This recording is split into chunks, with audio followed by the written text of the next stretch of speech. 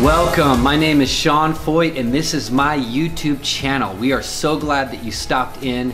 And listen, we believe that God has a destiny for you, and there is an encounter that He's going to give you as you look through these videos, as you listen to the podcast, and really as you see what God is doing all over the world in this incredible season of revival.